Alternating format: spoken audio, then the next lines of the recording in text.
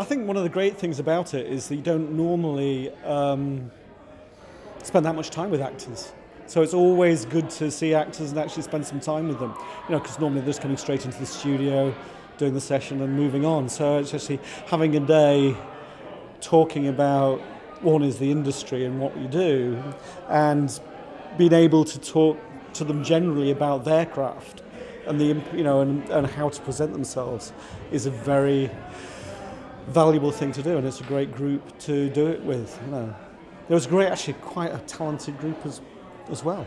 Uh, no, I think I, I think it's a really um, positive environment. You know, it's it's it's focusing solely on voice in a way that nothing else has done before, and it's a really you know strong community. You look at the people who are here today from the production side. You've got game developers, you've got actors, uh, you've got producers and directors who are coming together, and it's not often we get time to come together. And actually, great time to come together and share with um, with the actors about it. So, um, join because I think there's uh, there are real there are real positive um, things happening and it's, it's good for the community. It's creating community, which I think is a really um, powerful thing.